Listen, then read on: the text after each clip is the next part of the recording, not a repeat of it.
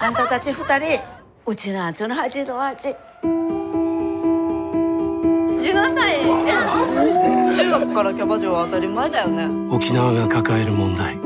その全てが日常だった。なんでワンが金渡さんといけ？あんたの娘でしょ？キャバクラでも何でも働いてちゃんと稼ぎなさい。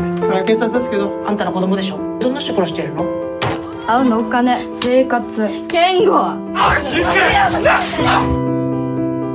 普通が分から。ん子供のこと考えないとね。健吾もあんたみたいになってしまう。何したのね！ごめん。ね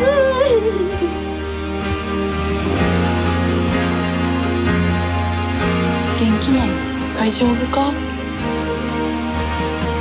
逃げることすらできない。彼女が最後に選んだ未来とは？どっか行きたい。